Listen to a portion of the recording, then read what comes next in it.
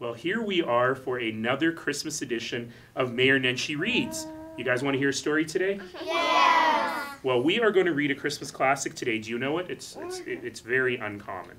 I bet you've all heard of it, haven't you? Yeah. How the Grinch Stole Christmas by Dr. Seuss. You ready? Yeah. All right. How the Grinch Stole Christmas by Dr. Seuss for Teddy Owens. Every Who down in Whoville liked Christmas a lot. But the Grinch, who lived north of Whoville, did not. The Grinch hated Christmas, the whole Christmas season. Now, please don't ask why. No one knows the reason. It could be that his head wasn't screwed on just right.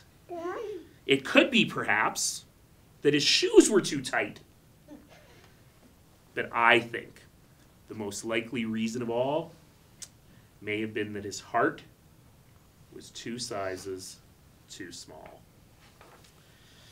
But whatever the reason, his heart or his shoes, he stood there on Christmas Eve hating the Who's, staring down from his cave with a sour, grinchy frown at the warm lighted windows below in their town, for he knew every Who down in Whoville beneath was busy now, hanging a mistletoe wreath.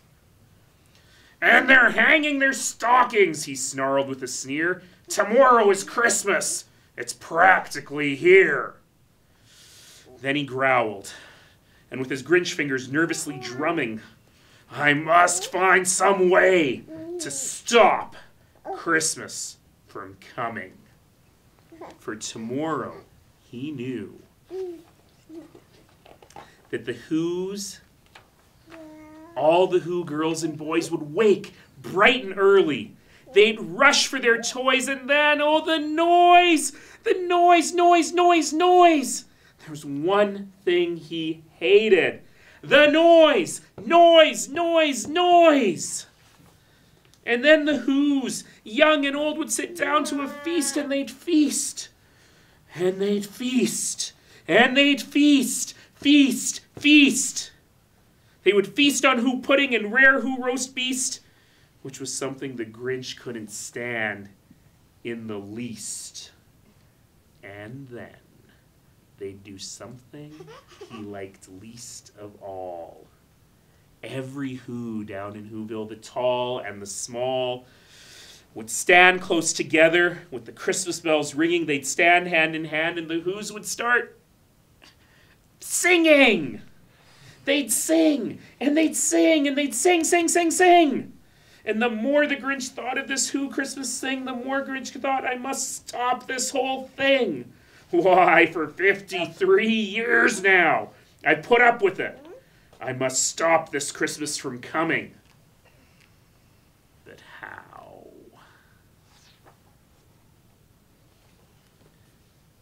Then he got an idea.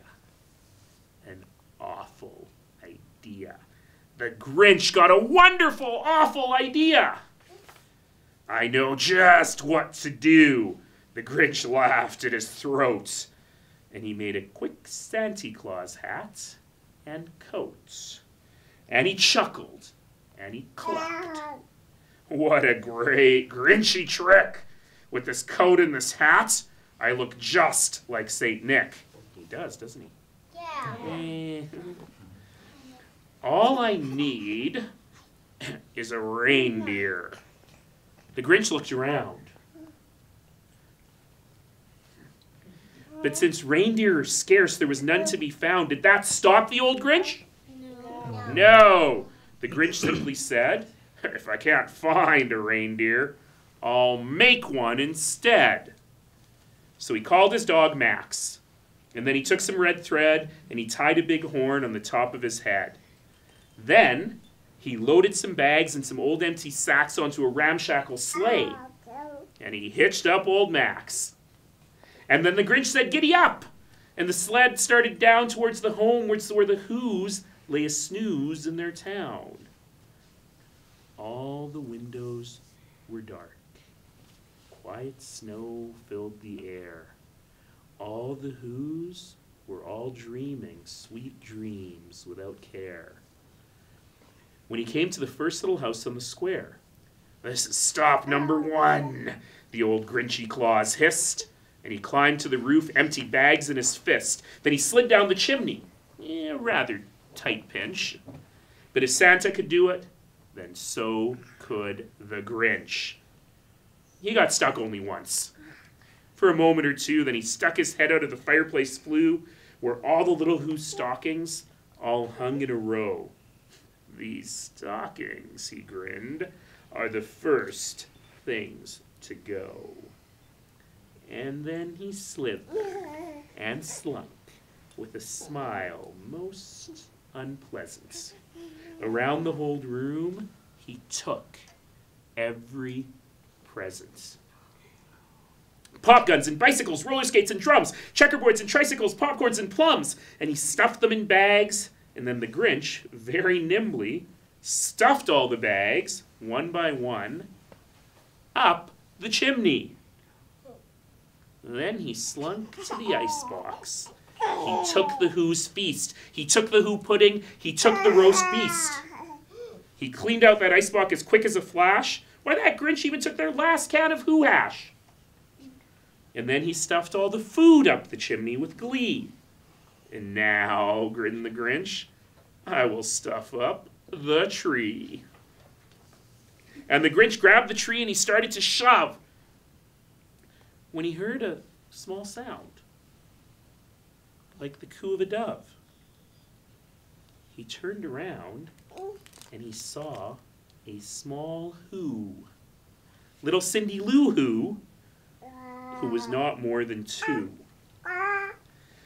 The Grinch had been caught by this tiny Who daughter who got out of her bed for a cup of cold water. She stared at the Grinch and said, Santa Claus, why are you taking our Christmas tree? Why? But you know, that old Grinch was so smart and so slick. He thought up a lie, and he thought it up quick. Why, my sweet little tot, the fake Santa Claus lied. There's a light on this tree that won't light on one side. So I'm taking it home to my workshop, my dear. I'll fix it up there. Then I'll bring it back here. And his fib fooled the child. Then he patted her head, and he got her a drink, and he sent her to bed. And when Cindy Lou Who went to bed with her cup, he went to the chimney and stuffed the tree up. Then the last thing he took was the log for their fire. Then he went up the chimney himself, the old liar. On their walls he left nothing but hooks and some wire, and the one speck of food that he left in the house was a tiny crumb that was even too small for a mouse. Then he did the same thing to all the other Who's houses, leaving crumbs much too small for all the other Who's mouses. It was quarter past dawn when all the Who's still abed, all the Who's still a snooze. When he packed up his sled, he packed it up with their presents, the ribbons, the wrappings, the tags and the tinsel, the trimmings and the trappings. 3,000 feet up. Up the side of Mount Crumpet, he rode with his load to the tip top to dump it. Pooh pooh to the Who's, he was grinchishly humming. They're finding out now that no Christmas is coming. They're just waking up. I know just what they'll do. Their mouths will hang open a minute or two. Then all the Who's down in Whoville will all cry. Boo hoo. That's a noise, grinned the Grinch, that I simply must hear. So he paused, and the Grinch put his hand to his ear. And he did hear a sound rising over the snow. It started in low. Then it started to grow. But but the sound wasn't sad. The sound sounded merry. It couldn't be so. But it was merry, very. He stared down at Whoville. The Grinch popped his eyes. Then he shook. What he saw was a shocking surprise. Every Who down in Whoville, the tall and the small, was singing without any presents at all. He hadn't stopped Christmas from coming, it came. Somehow or other, it came just the same. And the Grinch, with his Grinch feet ice cold in the snow, stood puzzling and puzzling.